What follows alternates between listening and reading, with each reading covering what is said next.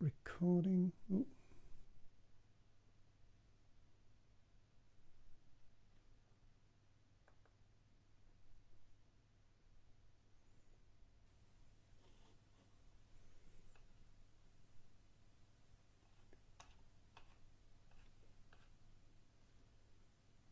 Looks like it's working there, but I have no idea. Oh, looks like we're on. Okay, for Halloween, we are going to. Oh, press the button. God. For Halloween, a reading of my horror story called Once in a Blood Moon. I'm going to give it a shot at doing it live and we'll see how it works.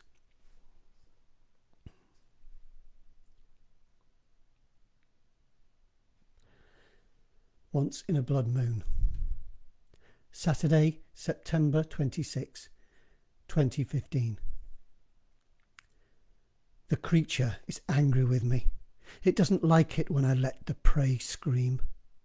A snarl trembles in my chest, and I go for the man's throat sinking my fangs into his flesh. For a heartbeat, the man lets out a strangled screech of agony, but I squeeze my jaws even tighter, crushing the life from him. There's a wet, meaty crunch as my teeth meet in his bones, and it's all over. The creature lets me open my mouth, and I take a deep breath, enjoying the familiar scent of warm blood, although the man's dying breath is sour tainted with the stench of fear and frenzied desperation. I lick the taste of him from my lips, then I throw back my head and stare up at the cold night sky. The moon is bright and clear, and a deep need stirs in my belly, a craving even stronger than the creature's lust for blood. I let its impulses flow through me, and my chest tightens, forcing out a howl, a symphony of sadness and elation, sweet joy and bitter loneliness. And it's good, so good to pour my soul out into the gunmetal moonlit night. I howl again and again. And why not? There's no one out here on the moor to hear me. No one at all. Sunday, September 27, 2015. North York Moors. Marcus Sutcliffe's yawn went on for just a little too long, and he knew he needed to take another break from driving. It's not even nine o'clock in the morning here, he reminded himself. But his tired mind refused to accept it. His flight from the States had arrived just after midnight UK time, and he'd foolishly decided to start the long drive north right away.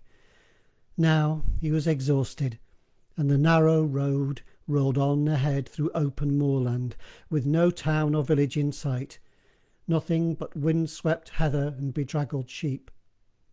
He spotted a gravelly area at the side of the road and pulled his rental car onto it, parking as neatly as he could, despite the unfamiliar gear shift. Goddamn piece of crap, goddamn stupid car, he mumbled. He flexed his fingers on the steering wheel and thought what he'd like to do to the idiot at the car rental who dealt out this offence to the automotive industry. Marcus had specifically stated that he must have an automatic transmission. Sure, he'd driven a stick shift before, but that was years ago, and in this goddamn country everything was on the wrong side.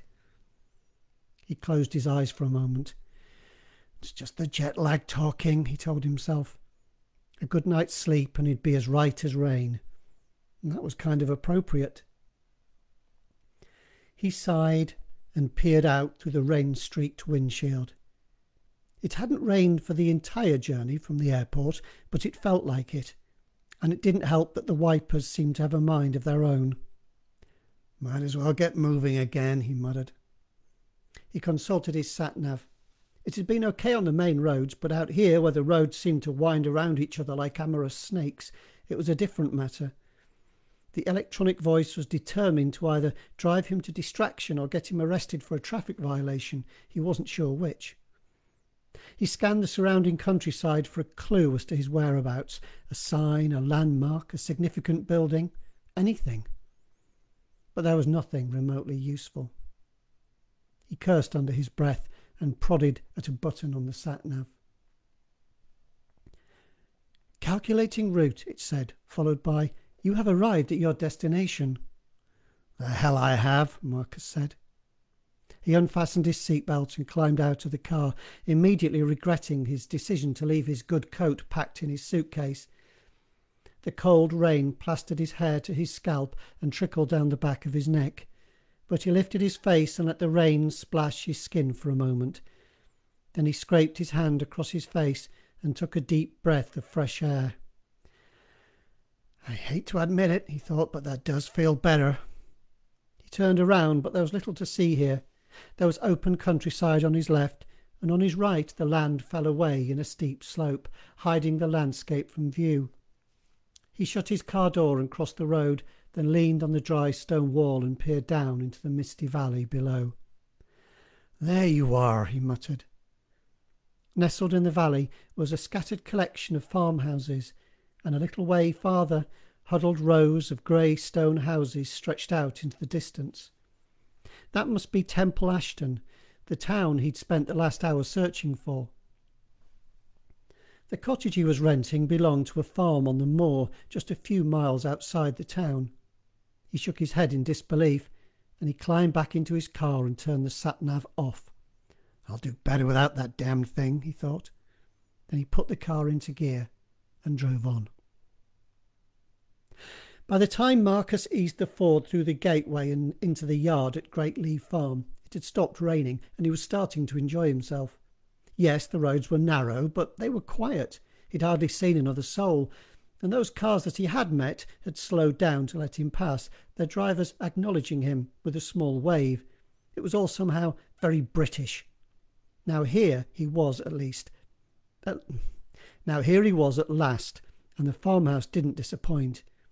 It was a beautiful building, made from mellow limestone and roofed with rustic slate.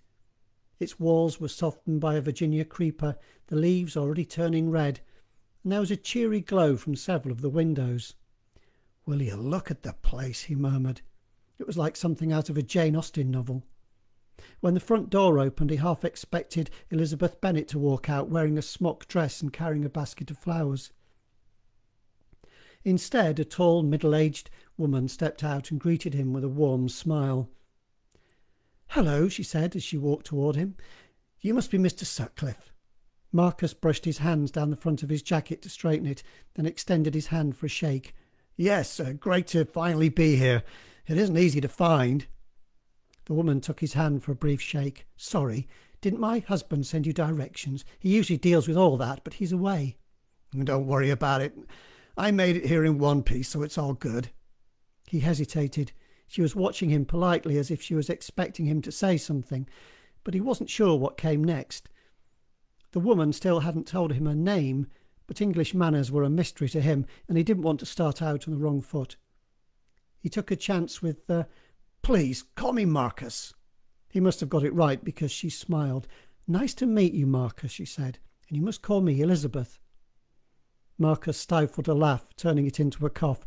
Sorry, I'm kind of tired. Yes, you've had a long journey. I expect you'd like to get settled in. She tilted her head to one side and gave him a concerned look. Her eyes were hazel, Marcus decided, and her smile was warm. It made her look younger, and there was something about the curl of her lips that reminded him of Kate Winslet. He stood taller and pulled his stomach tight. I'm fine, really. The trip wasn't so bad. He gave her a smile. Isn't that what they say about the difference between us? The British think a hundred miles is a long way, and Americans think a hundred years is a long time. Elizabeth laughed. That's very true. The farmhouse is over four hundred years old, and so is your cottage. Come on, I'll show you around. Marcus let out a low whistle. If only the walls could talk. Yes, she said. She looked down for a moment, and when she looked up, her smile wasn't quite so bright. Wouldn't that be something? Sunday afternoon, Temple Ashton.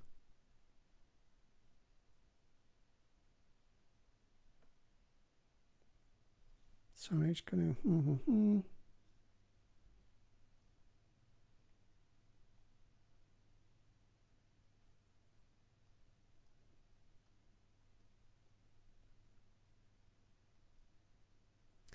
Sunday afternoon, Temple Ashton.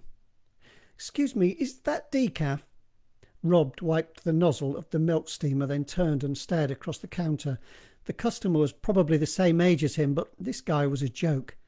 From his elaborately styled hair to his carefully trimmed beard, the guy screamed hipster. You're trying too hard, mate, Rob thought, and he had the urge to punch the guy in the face and break his horn rimmed spectacles. Hell, they probably didn't have real lenses in them anyway. They were just a fashion accessory, part of the image. I asked for decaf, the man insisted, but it looks like you've just given me the ordinary stuff. Rob shrugged. Yeah, well, I've made it now. The customer's jaw actually dropped. He stood there gaping, his mouth hanging open like a particularly stupid goldfish. Rob smiled. But of course I shall make you a fresh cup at once. He turned away before the customer could say anything and busied himself making the coffee. He hummed loudly and tunelessly. That was a good one. It irritated the hell out of people, but they were all too polite to ask him to stop. He turned around and presented the coffee. One decaffeinated soy latte, extra shot, no foam. Thanks, the customer said, though without much enthusiasm. Rob rubbed his hands together. The guy was clearly seething with resentment. Job done. Excuse me, Rob, could I have a word with you a minute? Shit. Rob turned around slowly. Sandra, his supervisor, was standing at the far end of the counter, her arms folded tightly across her chest. Sure, he said, and sauntered over to her. She hadn't just seen all that, had she? She fixed him with a look. What the hell is the matter with you, Rob? she said, keeping her voice low. Rob shrugged. I don't, he began, but she wasn't in the mood to listen. Your mind's not on your job and you look a disgrace. Your hair's a mess, you need a shave, and you've got bags under your eyes. He pursed his lips and nodded thoughtfully. Yeah, I didn't get much sleep last night. A lot of things, you know, on my mind and everything. A lot of tequila, you mean? A lot of Jack Daniels? Rob held up his hands in front of him, the palms facing outward. No, no, I was doing college work until late. I'm retaking my exams, trying to get into university. Sandra did not look convinced. Listen, take a break for ten minutes, get a bit of fresh air, then pop into the bathroom and smarten yourself up a bit. Splash some water on your face or something, and flatten your hair down. Sure, cool, no problem. And tomorrow, Sandra said, you come in clean shaven or not at all.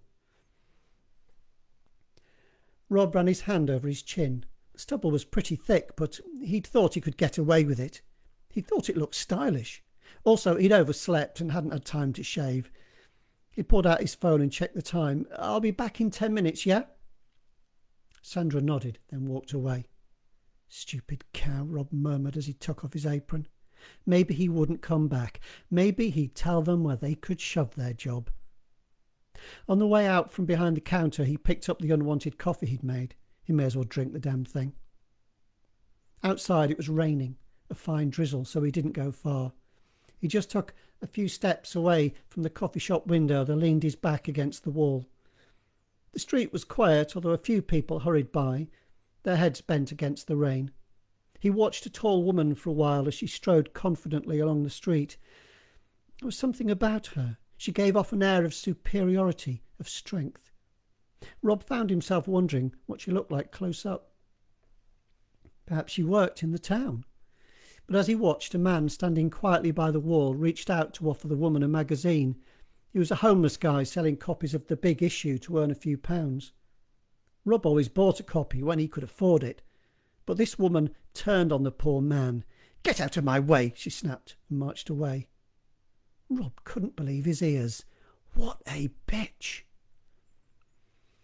He looked down at the coffee in his hand, then he crossed the road and walked up to the magazine seller. Excuse me, mate, do you fancy a coffee? The man looked at Rob and frowned. It's all right, I haven't touched it, Rob said. He pointed to the coffee shop. I work in there.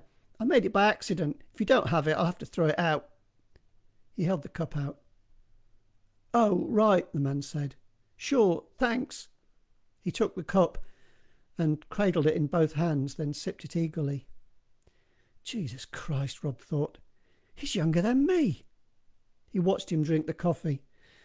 The guy had a hungry look, sharp, hawk like features, intense dark eyes, a thousand yard stare.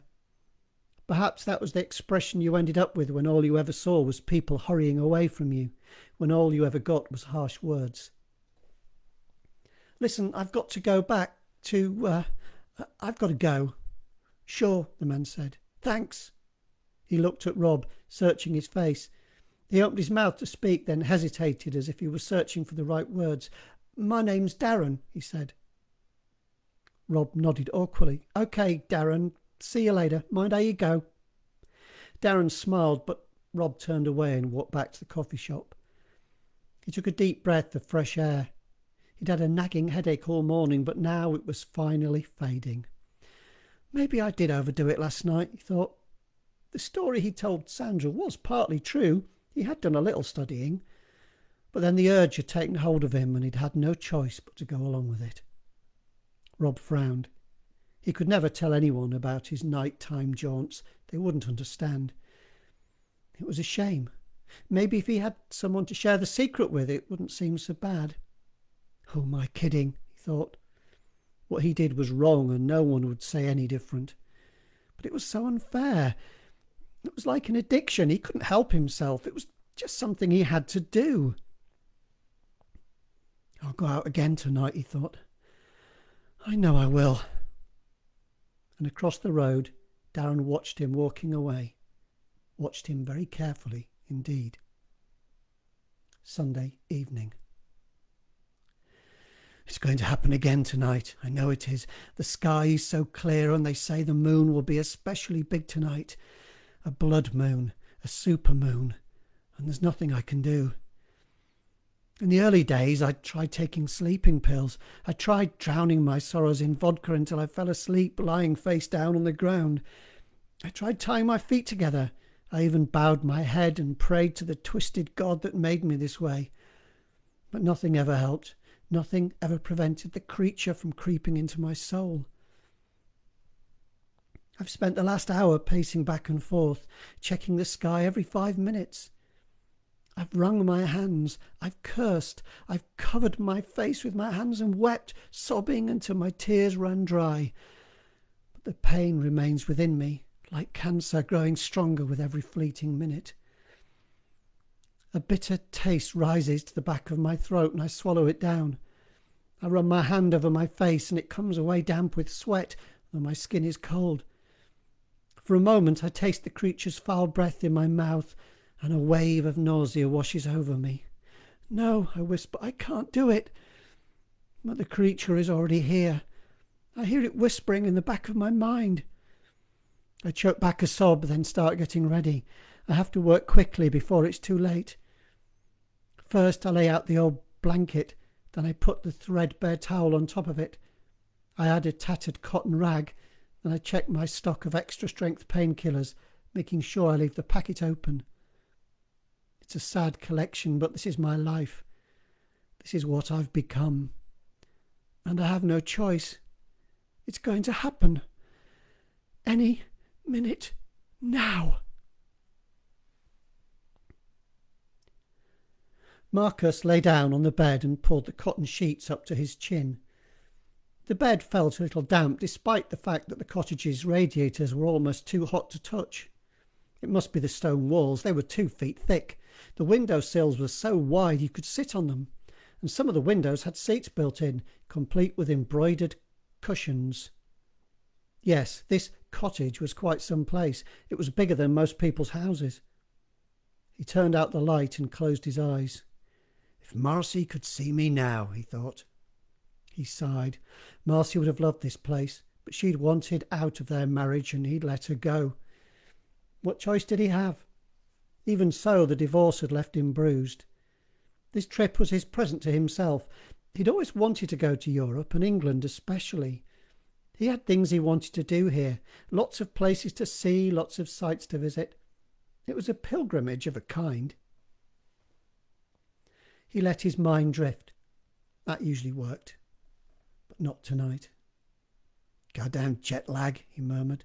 But it wasn't just that. It was too quiet here, almost completely silent. There was no distant drone of traffic, no noises from neighbours.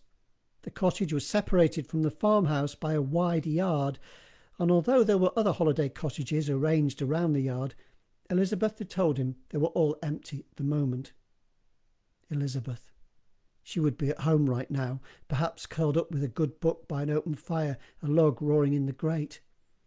For God's sake, don't even think about it, he told himself. The woman was married and he had enough complications in his life, didn't he? He turned on the light and sat up in bed. What he needed was a belt of something, scotch. He'd bought a bottle from the duty free store at the airport. He left it down on the kitchen table. He left it down on the kitchen table. Marcus swung his legs out of bed. The floor was cold and the rough tar. Marcus swung his legs out of bed. The floor was cold and the rough carpet tickled the soles of his feet. He walked slowly across the room to the door. He hesitated on the landing at the top of the stairs. The stairway was steep and long, and the treads were too narrow for his feet. On the way up to bed, he'd stumbled and cracked his shin on the edge of a step. Now he saw that the dim glow from the landing did not reach the bottom of the stairs, and with his brain buzzing and his body exhausted, Marcus wasn't sure he fancied his chances of making it to the bottom in one piece. Come on, old boy, he muttered in his best English accent. Chin up. He started down the stairs. This place explains a lot about the Brits, he thought to himself. Everything is so goddamn character building. Marcus padded through to the kitchen and found a suitable tumbler in the third cupboard he tried. The cap on the bottle of Glenmorangie made a wonderful crinkling sound as he cracked the seal, and as always, the first sip was the best. That hits the spot, Marcus murmured. He took another sip and felt the tension in his neck slipping away. He rolled his shoulders. He felt so much better, but he didn't feel sleepy. Quite the reverse. Might as well do something useful, he said. He took his whisky through to the front room. He took his whisky through to the front room, turning on. Lo- typo. He took his whisky through to the front room, turning on lights as he went. He'd laid his laptop out on the coffee table, thinking he'd use it in the morning to do some background research before he set out to explore the local area, but he may as well get started now. He sat down heavily on the overstuffed couch and lifted the lid of his MacBook Pro. Thankfully, the cottage came with decent Wi Fi, and he checked the connection as soon as Elizabeth had left him to unpack. He took another sip as the Mac booted up, then he wasted no time in digging into his favourite genealogy sites. His eyes lit up as he scanned through his profiles and updates, and the minutes slipped away. That was why he was here. This was why he'd spent all those hours cooped up in a plane eating rubbery chicken and downing stale coffee. This was why he'd battled with the satnav and the rain and the tortuous English roads. He was here. His ancestors had lived and strived in and around Temple Ashton for decades. In fact, if it hadn't been for the Second World War, Mike. Had... In fact, if it hadn't been for the Second World War, Marcus might never have been born. But his granddaddy had been stationed at an airport. Oh, goodness sake.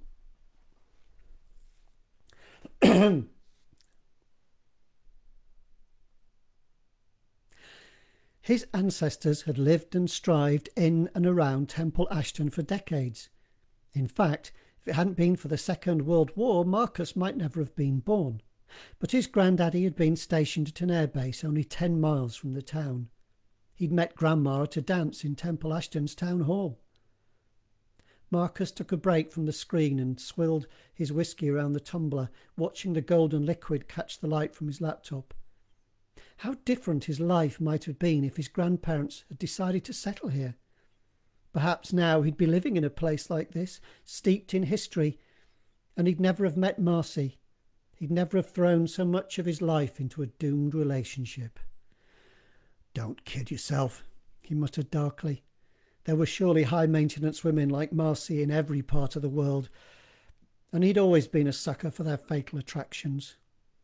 God knows why, he thought and he downed the last of his whisky. He put the empty glass on the table and stared at it. Why hadn't he taken up with a nice woman like Elizabeth? She seemed sturdy, sensible, down to earth. He pushed the thought away and stood up, stretching his back. Maybe he should go back to bed and try to sleep again. He closed his laptop and picked up his glass. Then he stood for a moment, listening. Had he heard something outside? He tilted his head to one side, concentrating. The floorboards in the old cottage creaked every so often, but that couldn't explain this noise. To be more like scrabbling, scraping sound. Mice, perhaps. Or a cat scratching to be let inside. He went over to the window and pushed the heavy drapes aside. The farmyard was cloaked in darkness. Although there was a full moon, its light did little to help. The holiday cottages were arranged around three sides of the yard, all converted from old stone farm buildings, according to Elizabeth, and the fourth side gave on to the main farmhouse. The tall buildings cast deep shadows, and there were no street lights here to lend their sodium orange tint to the night sky. Marcus peered up at the sky and picked out a couple of constellations. There was the Big Dipper, although they called it the Great Bear over here. It was a fine night, and Marcus smiled to himself. But at that moment the scrabbling noise echoed across the empty yard, and it was louder this time, closer, and too vigorous to be made by a cat. Marcus stood perfectly still, peering into the murky farmyard. What was that? The dark shape shifted and stirred. Something was moving, trying to hide in the shadows. A crash rang out, harsh, metallic. Marcus swallowed hard. Not something, he told himself. Someone. Yes, someone was out there and up to no good. Maybe they were breaking into the farmhouse. And Elizabeth was alone, wasn't she? He stepped back, letting the drape fall, and scanned the room for a suitable weapon. But there was nothing, not even a brass poker by the fireplace. He marched to the front door. There was no phone in the cottage and no signal for his cell phone. And even if he could call the police, they'd arrive too late, especially out here in the middle of nowhere. No, he'd have to deal with this himself. After all, most of these were opportunists and cowards. As soon as they knew they'd been spotted, they'd make a run for it. He yanked the front door open and stood in the doorway, his shoulders squared. Hey, you! he yelled out. I see you. I've called the cops. Get the hell off this property. He waited, holding his breath, but there was no response. Go on, he called. Get out of here. And there was that scrabbling noise again. What the hell were they doing out there? Marcus opened his mouth to call out again, but before he could speak, a raucous screech reverberated across the yard. Marcus stepped back, a chill racing across his skin. What creature could make that awful sound? They didn't have dangerous wild animals over here, did they? Keeping his eyes on the yard, Marcus reached behind him, fumbling for the door handle. And as he stared in horror, he sensed a movement in the shadows. There was a growl, and then something was running toward him, its claws clattering against the concrete as it ran. No! Marcus cried. And in that instant, a security light flashed into life, and the yard was bathed in its dazzling glare. Its beams picked out the animal perfectly. It was no bigger than a spaniel, and its head bore a bold white stripe. Jesus Christ! Marcus hissed. He put his hand on his chest and pressed hard against his rib cage. It was a goddamn badger. Nothing more than a harmless badger. Startled by the light, the badger grunted and changed course, veering across the yard and slipping away into the night. Marcus stood on the threshold for a moment, forcing himself to breathe slowly. God damn it, he muttered. Ridiculous. He shook his head in disbelief. What if Elizabeth had heard him hollering like that? He could try and explain, but she'd surely mark him down as a brash and belligerent redneck. He looked over at the farmhouse. Oh, God. A light came on at a downstairs window. He hesitated. He could wait and see if she looked out. He could give her a wave and let her know that everything was all right. But that might complicate things further.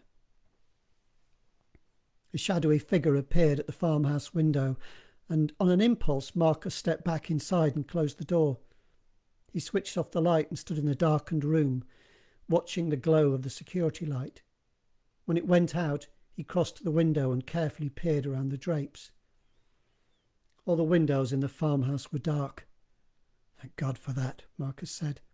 Perhaps you would never know it was him who'd yelled, and he could forget the whole sorry incident, pretend it had never happened. Sure hope so, he thought. He pictured Elizabeth looking askance at him every time they met. Then he pinched the bridge of his nose and shook his head sadly. Hell of a day, he said. Time for bed. His eyes were accustomed to the gloom now, but even so he put his hand on the wall for guidance and felt his way around the room. When he reached the stairs, he made his way up to the bedroom. He was suddenly tired. Very tired indeed.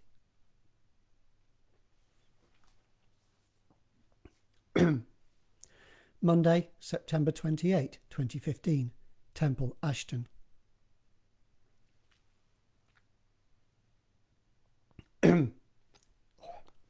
The moment Rob walked in through the coffee shop door, he knew he was in trouble. Sandra stormed toward him, a face like thunder. What the hell's going on, Rob? He held up his hands in mock surrender. What? I'm not late. I've had a shave. I'm talking about him. She pointed to the corner table by the window. Rob turned, and when he saw the problem, his heart sank. The homeless guy from the day before was hunched over the table, his head in his hands, staring listlessly at the wall. Rob searched his memory for the guy's name. David? No, it was Darren, wasn't it? I've asked him to leave, Sandra went on, but he says he's waiting for you. He says he's a friend of yours. No, Rob said. I don't know him. I just gave him a coffee, that's all. Sandra rolled her eyes. I should have known. He'll be turning up every day now, expecting a handout. She shook her head. Get rid of him and don't let him make a fuss. Give him a coffee if you have to, but it's coming out of your wages. Rob nodded unhappily. See to it then. I've got things to do. She turned and marched away, flashing her fake smile at the customers, all sweetness and light. Rob watched her for a moment. Bloody woman. He loved to wipe that smile off her face, and he could do it too, so easily. He ran his hand over his mouth. Rob, I could do some help here. He snapped out of his daydream. Behind the counter, Maddie was trying to attract his attention. She nodded toward the queue of customers. Getting busy, she said. Sure, Rob said. I've just got to do something for Sandra. He walked slowly over to the corner table. Darren looked even worse than the day before. The skin around his eyes was so dark it looked bruised, and a jagged scar trailed across his cheek. As Rob approached him, Darren sat up with a start, grabbing hold of the small table and curling his fingers around its edges, gripping it white knuckle tight. But when he recognised Rob, his expression softened. All right, mate, he said, and he smiled, his eyes bright.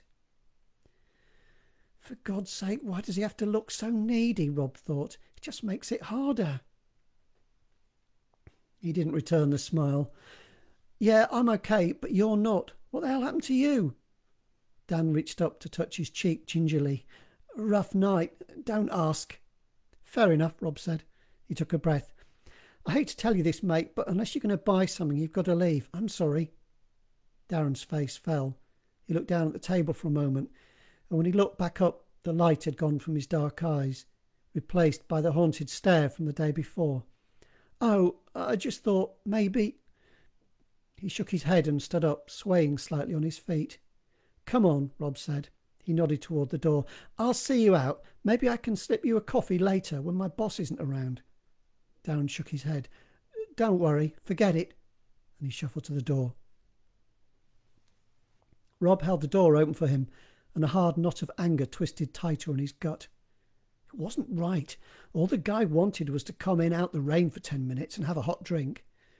Meanwhile, the coffee franchise sold millions of overpriced drinks to people who didn't really need them, pocketing the profits while bending over backward to dodge their taxes. He had a good mind to defy his boss and tell the poor guy could stay after all. But Sandra had a mean streak, and she'd make his life a living hell for months. It wasn't worth the hassle. As they stepped outside, Rob turned to Darren and said, I'm sorry about this, mate. I really am. Gave Darren an apologetic smile and patted him gently on the arm. And Darren turned on him, his dark eyes flashing, his mouth twisted in a snarl. And Darren turned on him, his dark eyes flashing, his mouth twisted in a snarl. Get your fucking hands off me! What? Rob stepped back and came up against the coffee shop window. Darren stepped forward, forcing Rob back against the plate glass. I'm sick of people like you. Hissed. You think you can palm me off with a free drink and then wash your hands of me. No, Rob protested. It's not like that. Course it is, Darren sneered. I should have known. You bleeding hearts are all the same. Rob shook his head. It was my boss, she said. But Darren didn't let him finish. Pathetic, he said. He snorted in disgust and started to turn away. But just as Rob drew a shaky breath, Darren turned back and pointed at Rob's face. You're going to regret this, he hissed. I never forget a face. Never. Then he spat on the ground and walked away. Jesus Christ, Rob whispered. He ran his hand over his face and took one last look along the street to make sure Darren was still walking away. Then he went back inside.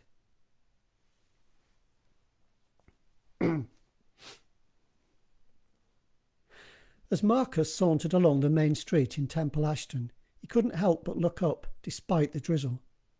He felt like grabbing his fellow shoppers by the arm and saying, Can't you see what you're missing? There was so much to see above the modern plate glass storefronts a Victorian gable, a Georgian window, an ancient and elaborately carved gargoyle. Some of the stone walls were marked with crosses of cast iron, anchor points to prevent the thick walls from bulging. This place felt more like a movie set than a town. But then he found his prize. He stood still and gazed up at the building. Its upper stories were half timbered, a grid of crooked black beams set into the white wall. It must be hundreds of years old, and beneath the impressive frontage was a coffee shop. Perfect. Elizabeth had thoughtfully provided him with sachets of instant coffee in the cottage's kitchen, but his morning coffee had been weak and bitter. He needed a proper brew, and he needed it an hour ago. He rubbed his hands together and made ready to cross the road, hesitating as to.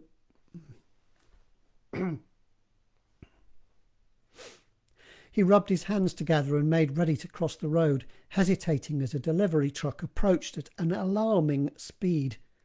He wasn't sure if it was just the fact that everyone drove on the wrong side of the road here, but the drivers in town seemed like maniacs.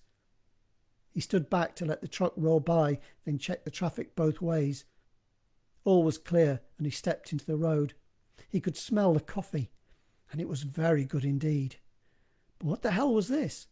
There was some kind of altercation in the coffee shop doorway. It looked like some poor kid getting the bum's rush. Same the whole world over, he thought. And just like back at home, he was not sure how to deal with a situation like this.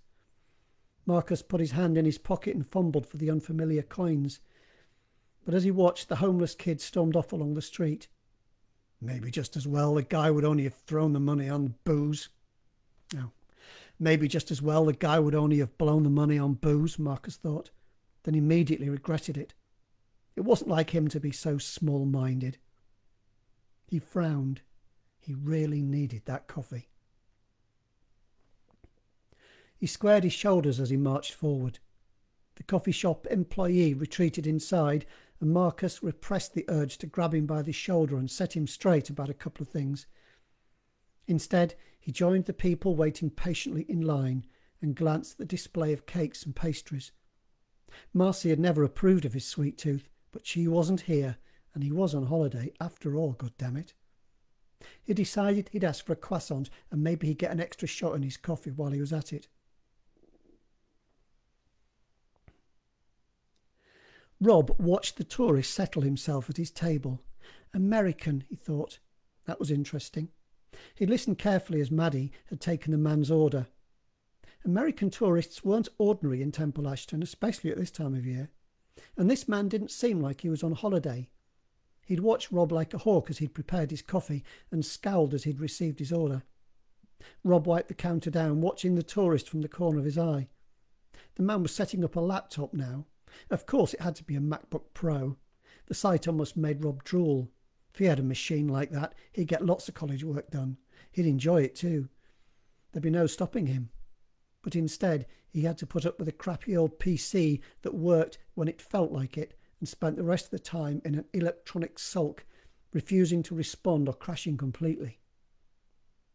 Rob checked that Sandra was nowhere in sight, then slipped from behind the counter and went to clear some tables.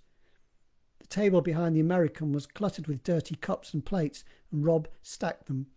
It gave him an opportunity to spy over the man's shoulder. It looked like the guy was struggling with the coffee shop's Wi Fi. Rob took a breath and seized his chance. Excuse me, sir, he said. Are you having trouble? The man turned sharply in his seat. What? Are you having trouble with the Wi Fi? It's just that I saw your computer and, and sometimes people have a problem connecting. There's interference from the shop next door. Oh, I see, the man grumbled. Now that you mention it, it does seem a little cranky. Rob smiled and indicated the keyboard. I can set it up for you. Do you mind? The man sat back with a sigh. Go ahead, he said. This stuff always seems so easy to your generation. Years of practice, Rob said. He leaned over the table and pulled the laptop nearer. In moments, the Wi Fi connected and the browser sprang to life. The router is dual band, Rob said, but we have separate SSIDs and passwords for each frequency. He lowered his voice. I'm not really meant to do this, but I logged you into the frequency they use in the office. It's much better, less interference. The man nodded thoughtfully. I'll pretend I understand some of that, he said with a smile. Thanks for your help. Rob stood up straight and shrugged. No problem. Here to help. He hesitated. Are you here on holiday? Kind of, the man said. I am looking into my family tree. Interesting, Rob said. Staying locally? The man frowned. It's just that your laptop will remember this network, so if you're in town and you come back in, it should connect straight away. Ah, oh, I see. Yes, I'm staying out of town up at Great Lee Farm. Rob nodded. I think I know it. He glanced over to the counter. Sandra was there now, watching him. Oh. He glanced over to the counter. Sandra was there now, watching him carefully. Well, I'd better get back to work. Good luck with your research. Sure, the man said. Thanks for your help. No problem, Rob said. Then he cleared the neighbouring table and made his way to the kitchen. Great Lee Farm, he thought. Interesting.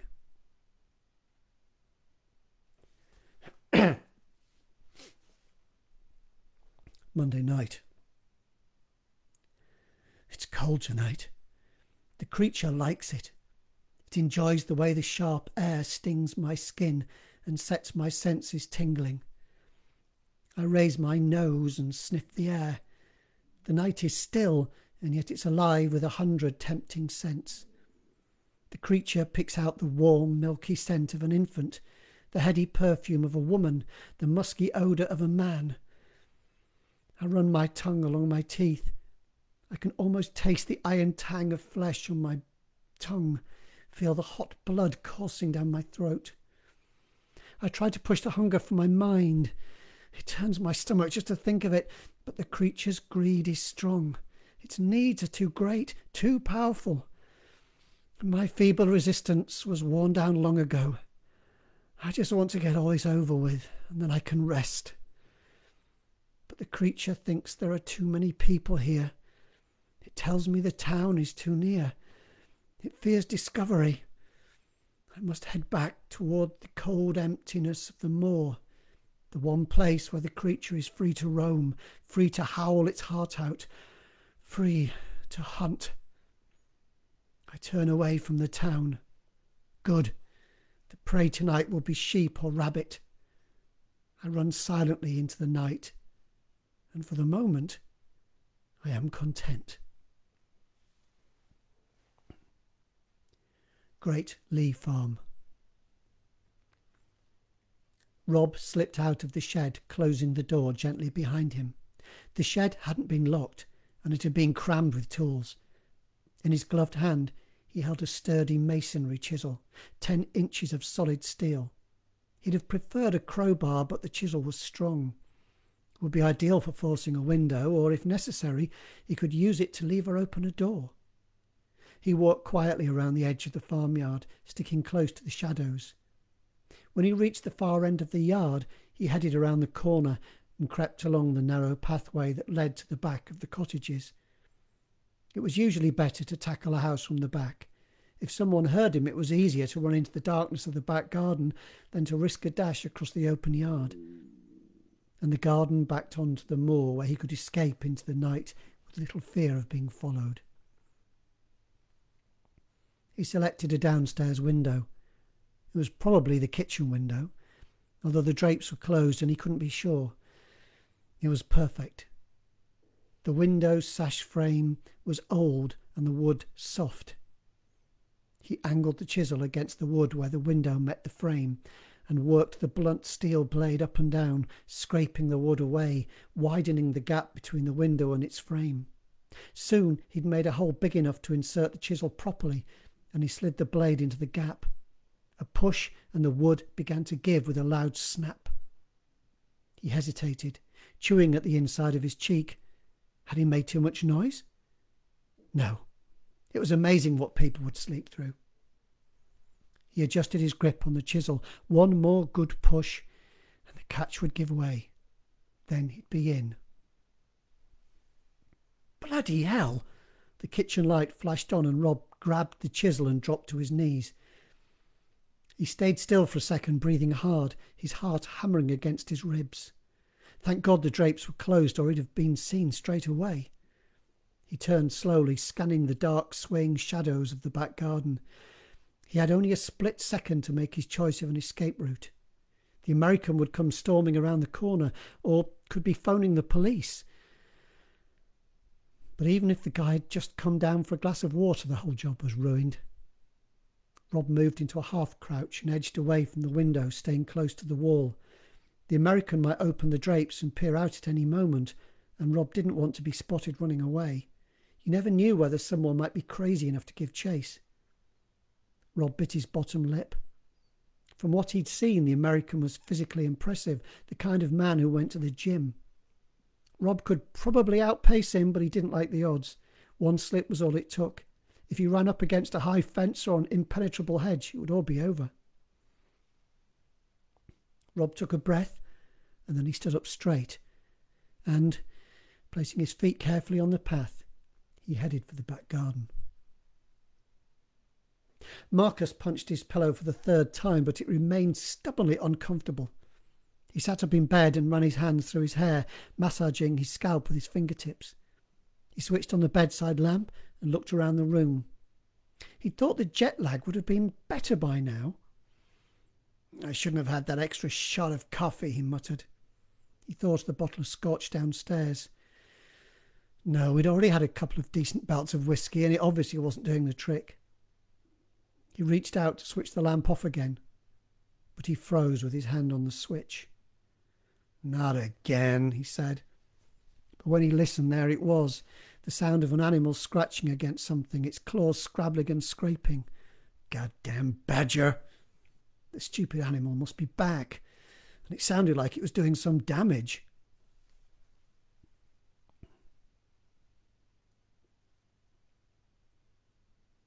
Marcus rubbed his bleary eyes with his fists. He should just wait. The security light might come on and frighten the damn thing away, or maybe it would just give up. There it was again, this time accompanied by the harsh staccato but there he was again, this time accompanied by the harsh staccato crackle of splintering wood. The hell with this, he grumbled, and he pushed himself out of bed and headed for the stairs. Downstairs he hesitated. The badger had actually looked quite aggressive when it had charged toward him, and he suddenly felt vulnerable in his t-shirt and shorts. He made a detour to the kitchen and opened a drawer, searching for some kind of weapon. Should he take a kitchen knife? No, he wasn't trying to kill the stupid animal. He just wanted to frighten it away. He tried another drawer, and among the usual kitchen clutter there was a small black plastic flashlight. That was much more useful. When he tested it, the beam was bright, but he still felt unprepared. Hmm. But he still felt underprepared. He bent down and opened one of the cabinets. A large cast iron skillet caught his eye. He wrapped his fingers around the pan's cold handle and stood up straight, the flashlight in his left hand, the skillet in his right. I must be going out of my mind, he muttered. Then he set his mouth in a grim line and headed for the door. He slipped his bare feet into his shoes without tying the laces, then opened the front door slowly, peering out into the farmyard. He played the beam of his flashlight across the featureless concrete, but there was no sign of the mischievous badger. Marcus tilted his head, listening, but there was no scrabbling noise, no scraping of claws. The damp night air prickled his skin, and for a moment he thought of his warm bed. He certainly wasn't achieving anything standing here with the door wide open. The badger or whatever animal had caused the noise had probably gone by now, frightened by the flashlight. But if he went back to bed and the noise started up again, he'd be furious. It was better to be sure, to make certain the damned animal had gone for good. He held his flashlight at shoulder height and advanced into the yard, moving the flashlight's beam slowly from side to side. His eyes had adjusted to the gloom, and he was starting to enjoy the cool night air. It was crisp and fresh, and it made him feel alive.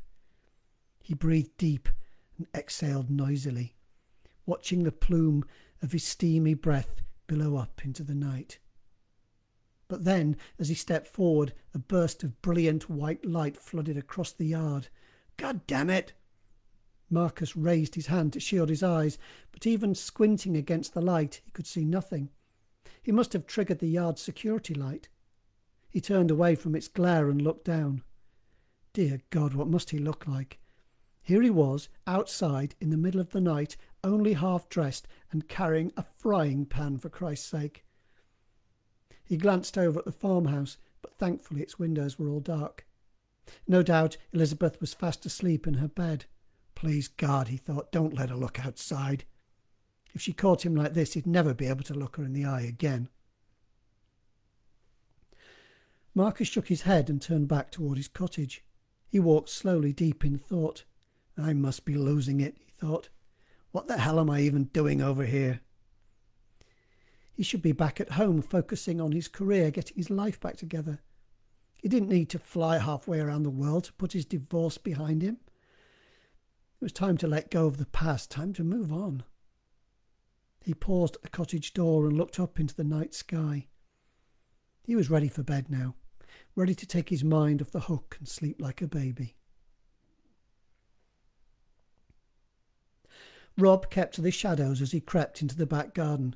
The lawn was soft underfoot, and his footsteps made barely a whisper as he walked slowly across the dew damp grass. The pale moonlight gave him just enough illumination to see where he was going, and he chose his path carefully. In seconds he was hidden from the houses by a screen of shrubs, and he increased his pace.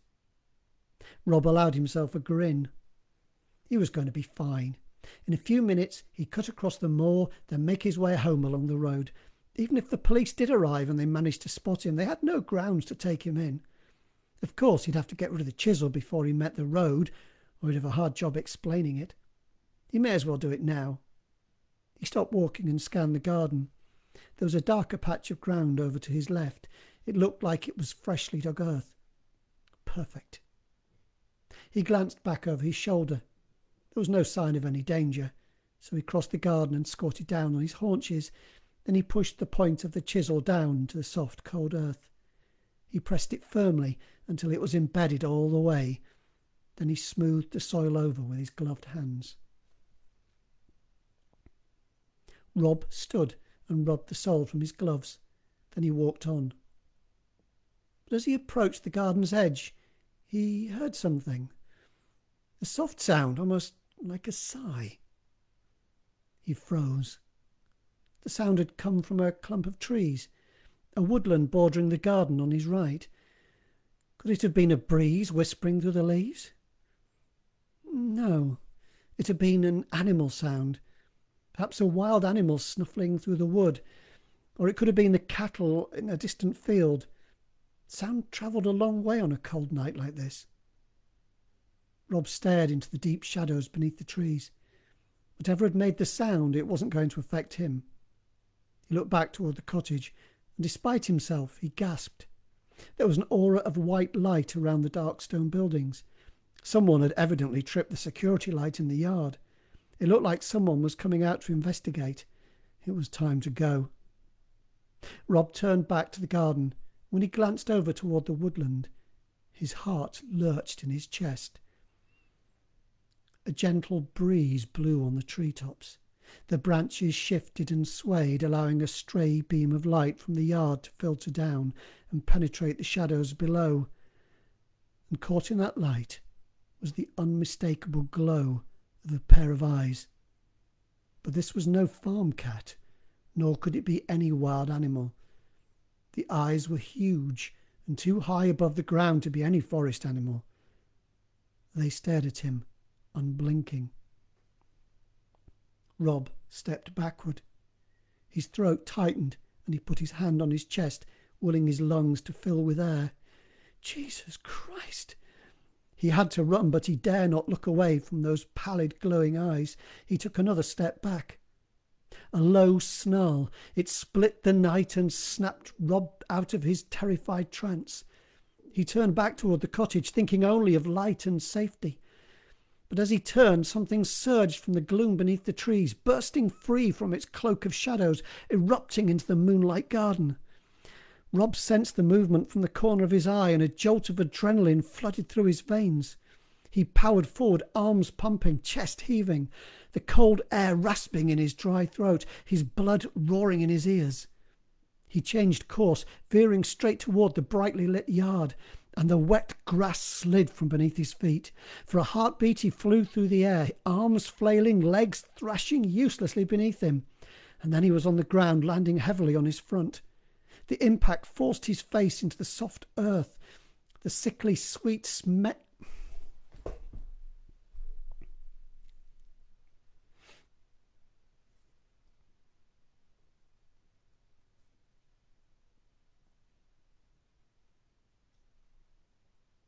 The impact forced his face into the soft earth, the sickly sweet stench of mouldering leaves saturating his senses. Behind him something was running, closing in on him, its feet thudding against the ground. Rob pressed his hands against the grass and scrambled up on all fours. As he pushed himself up, he realized he'd fallen next to the patch of freshly dug earth. The steel chisel was within his grasp. He could remember the place exactly. He reached out but as his gloved hands brushed the soil, something barreled into him, slamming his body back against the ground. He twisted and struggled, and somehow he managed to roll over, but he could not escape from the weight pressing him down. Rob panicked, his mind a whirl of bewildering images. A grey muzzle twitching in a savage snarl, vicious fangs flashing impossibly white in the moonlight, cold, heartless eyes staring down at him, glittering with greed, burning with a brutal hunger, and there was nothing he could do to escape. The dog like beast pushed its muzzle toward Rob's face. He could feel its hot breath on his cheeks, smell the dampness of its fur. He threw up his arms to protect himself, but he was too slow. The beast lunged at his neck, its jaws wide open. Rob screamed as the beast's teeth sliced into the soft skin of his throat, but then its jaws shut tight, and suddenly Rob could only gag and gasp for air. With his last reserve of energy, Rob lashed out, beating his fists against the beast's tangled fur. But it had no effect. And then, as Rob's vision blurred and the cold crept into his veins, he realized that the creature was dragging him across the wet grass, taking him toward the woodland. In the distance, Rob could just make out the glow from the farmyard, but he could not call out for help, and when the darkness came to claim him, he was powerless to prevent it.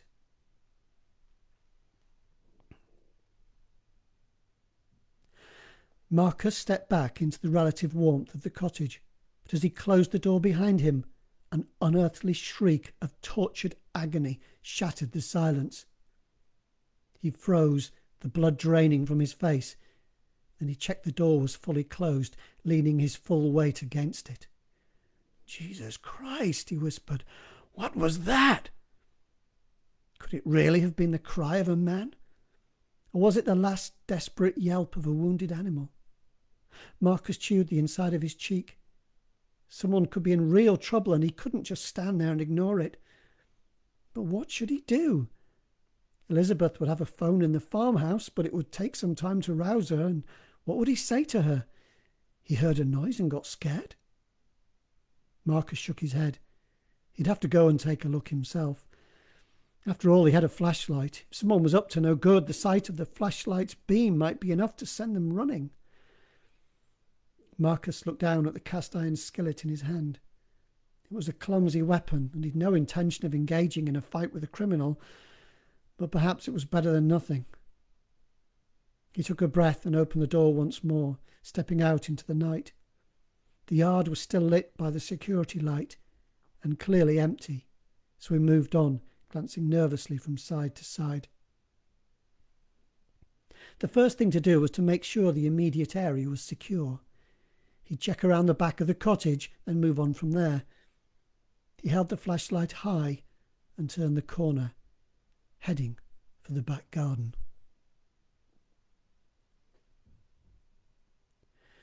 It's almost over for tonight, even though I've just begun to feed. I cram the meat into my mouth as quickly as I can, tearing at the carcass with my fangs, but already my limbs are trembling. I'm going to change soon. The creature has almost finished with me, but its pitiless hunger still stirs in my belly, and I want more, more and I know exactly where I can get it. There was no security light in the back garden, and Marcus's small flashlight did little to puncture the darkness. In the daylight, he'd found the garden's carefree scattering of shrubs and roses charming, but in the darkness, the twisted tangle of branches and thorns felt threatening. As Marcus played the flashlight's beam across the garden, the dark shapes of the shrubs sent sinister shadows sliding across the wet grass. Marcus hesitated. There was nothing to see here. But should he go further into the garden or return to the yard and make sure there was no trouble up at the farmhouse? He turned slowly, listening. There, the sound of someone or some animal rustling through the undergrowth. The sound echoed in the chill night air but it seemed to come from the far end of the garden. Marcus fought the urge to call out. Better to keep quiet until he knew what he was dealing with. He tightened his grip on the skillet and set off across the grass, placing his feet carefully and keeping to the centre of the garden, avoiding its shadowy perimeter.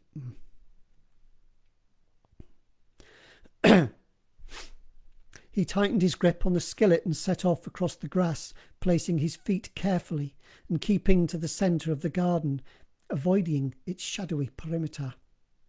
He moved slowly, shining the flashlight into every shady space between the shrubs, double checking every nook and cranny. But the narrow beam found no sign of a disturbance, and he could hear nothing except the gentle whisper of the wind in the tree tops and when he reached the fence at the far end of the garden, Marcus knew he had no choice but to return to the cottage. Waste of time, he muttered. But he'd done his bit, and he could never have rested if he hadn't at least tried to see what was going on. He heaved a sigh, then started back toward the cottage, still shining his flashlight around the garden, but no longer expecting to see anything. The farmyard was still lit by the security light, but Marcus scarcely spared it a glance as he walked back to the cottage's front door. He hesitated with his hand on the door handle. He didn't remember closing the door properly, but it was tightly shut now. A breeze must have blown it shut, he thought, as he let himself in. Thank God I disengaged the latch. Locking himself out would have been the last straw. Marcus padded along the hall and stopped off in the kitchen to drop the flashlight and the skillet on the table then he trudged up the stairs, holding tightly onto the banister as he went. He was feeling a little dizzy, and his whole body was heavy with fatigue. Man, I'm going to sleep all right now, he murmured. But as he stood in his bedroom doorway, all thoughts of sleep fled from his mind. The bedroom light was switched off, but the faint glow from the hallway behind him was bright enough to show that someone lay beneath his bedclothes. Marcus staggered backward, his heart hammering in his chest. He opened his mouth to yell, but his throat was too tight. He wanted to run for his life, but his legs refused to move. He could only gape in horror as the shape beneath his bedclothes shifted and turned. It's all right, Marcus. It's me. Elizabeth. Marcus put one hand on the wall for support. What? Elizabeth? It's all right, she said. Don't turn the light on. Just come to bed. But I don't understand. I know you want me, she said, and her honeyed voice intoxicated him. I could see it in your eyes. You do want me, don't you, Marcus?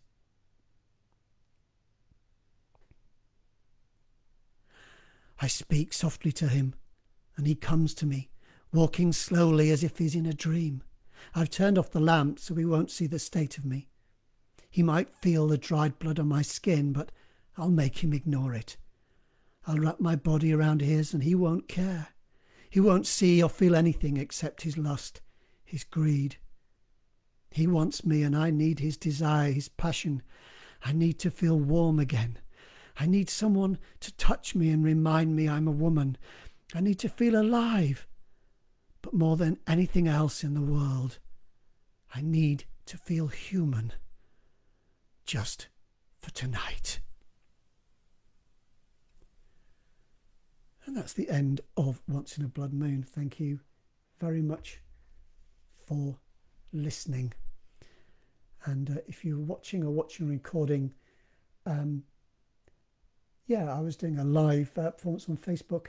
The sound will be cleaned up and sent out. I'm going to send it out to members of the Awkward Squad, is my readers group. Um, and if you want to get your hands on a uh, on a live reading, well, on a, and a nice reading of that with the sound cleaned up and all the ums and ahs and uh, mistakes taken out, then head on over to mikeycampling.com forward slash free books and you can listen to the whole thing at your leisure. So thank you very much, and I'll stop there.